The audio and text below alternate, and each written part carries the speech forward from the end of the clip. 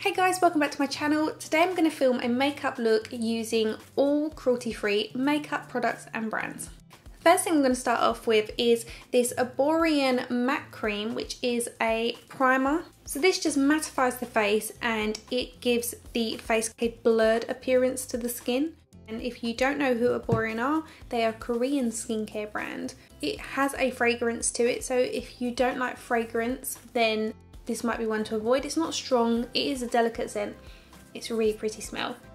And I just use this through the centre of my face to take away any shine and just prep my skin ready for the base makeup. So you can get this in 45ml and 15ml. You do have to give this a good shake before you use it, otherwise you get a load of clear fluid coming out and it just goes everywhere. For foundation, I'm going to use the Too Faced Born This Way foundation and the colour I'm going to use is light beige. So this foundation is really lightweight. It delivers a kind of medium to full coverage and it does depend on how you apply it. If you apply it with your fingers, you're going to get much more of a sheer coverage. I like to apply it with a duo fibre brush because it does pick up less of the product and apply less of the product. This is an oil-free foundation as well.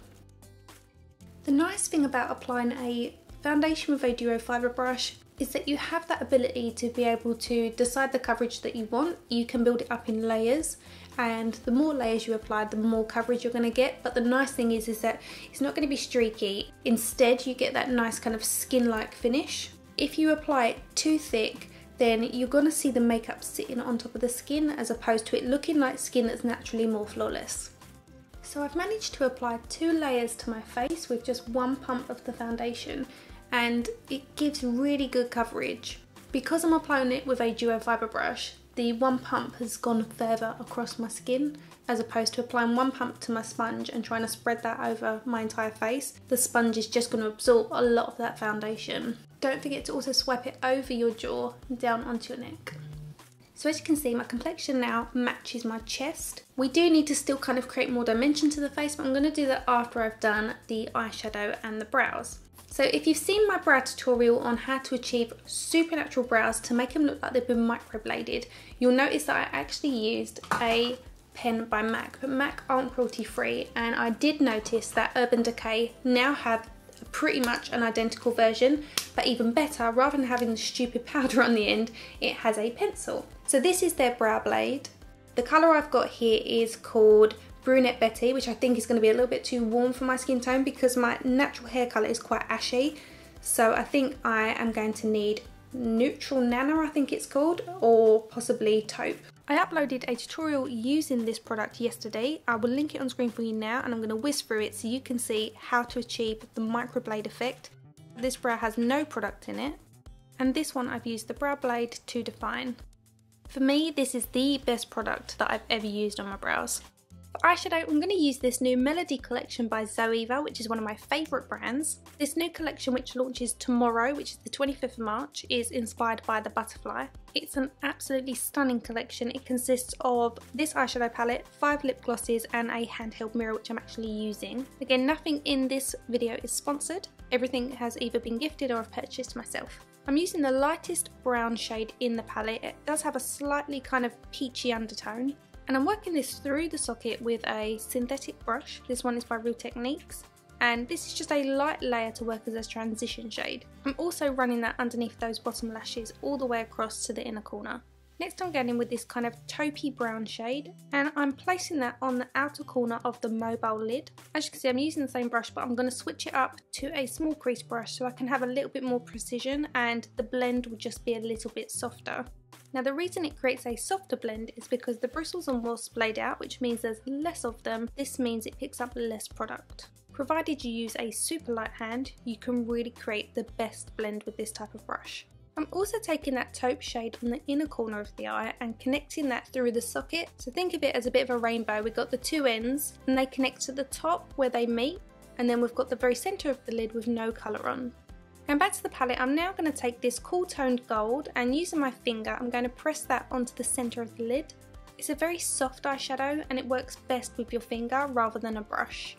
Pairing this kind of cool toned gold with the cool toned taupe shade that we've got on either side of it just so happens to work really well with the top that I'm wearing. Often it works really well to match your clothing to your makeup colours. Similar to how somebody with blue eyes, if they wear a blue top, it makes the blue in their eyes look more blue. Going back to the palette, I'm taking the darkest brown and using the same brush, I'm gently buffing this onto the very outer corner of the lid to intensify the brown.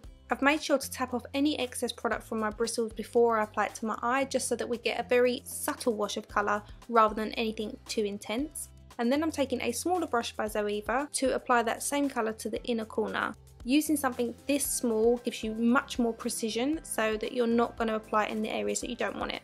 Taking this Magnetic Matte Eye Colour by Nudestix, this is in the shade Cocoa and I'm running that along my waterline. I'm also going to use it to tightline. Brown is a really nice way to create a subtle smoke rather than something like black which can be a bit harsh. Next I'm taking this Wet n Wild Mega Liner in dark brown. We're going to use this to define the root of the eyelashes, making it look fuller. We're not using it to create a wing or anything like that. We're simply creating a line from one end to the other and then using what powder's left on our pencil brush to run that over the top to soften it. We're not smudging the eyeliner itself, we are just applying a powder over the top. To add some drama to our eyelashes, I'm going to go in with this Marc Jacobs primer before applying the mascara. If you've never tried an eyelash primer before, you may find it changes your lash game because it really does add a lot of volume and drama to your natural lashes. So you want to just give that a few minutes to set and then we're going to go in with the Marc Jacobs Velvet Noir Mascara. I'm sure you'll know by now that I am a massive fan of multi-bristled wands and I think I've been using this one on and off for about four years, maybe a little bit longer maybe be five years. Yeah, it's definitely been a favourite of mine over the years. And as you can see, it just creates the most fluffy, big, voluminous lashes. And obviously it helps having the primer on underneath. For those of you that don't have long lashes, these ones are really good. These are a new set by Huda Beauty. And what's great about these is that they're a little bit shorter.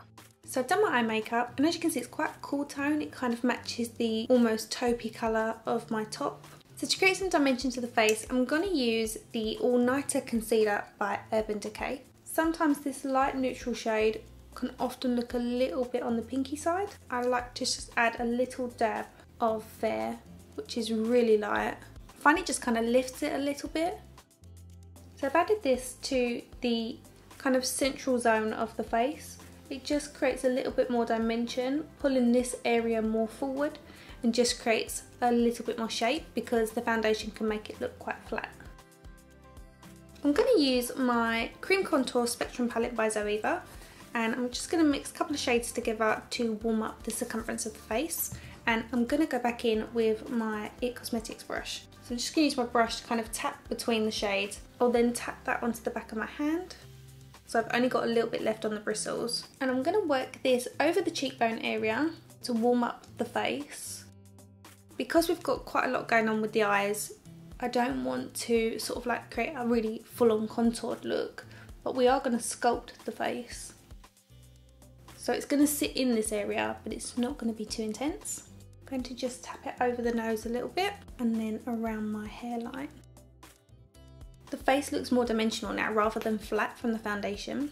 And it also gives us a little bit more colour which is nice because it is currently March and although we've had some nice days in the UK, it's not by any means tanning weather. So we need to warm up the skin to look nice and healthy. The next I'm going to take In the Nude Nudies All Over Face Colour by Nudestix. And I'm just going to go straight onto the brush with the bullet.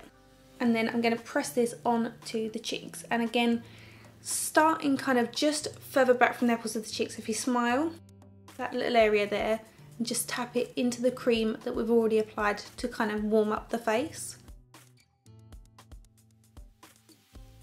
And that's the beauty of working with creams. They kind of just blend into each other with real minimal effort. Creams suit all age groups, mature skin in particular. I'm to go in with this Erborian Copper Glow in the palette itself. Doesn't look like it's actually to come out very intense, which is kind of what you want. You don't want anything over the top. I'm to just press this in a stipple motion over the area that we've applied the bronzer, but towards the back half of the cheek. Through the centre of my face, I'm to apply a little bit of Charlotte Tilbury's Airbrush Flawless Finish Powder. And this is just going to help to mattify the skin. It should stay relatively matte anyway because we've applied the matte cream by Erborian at the beginning. This is just a little bit of extra security. And on my lips, I've just applied some Penelope Pink by Charlotte Tilbury.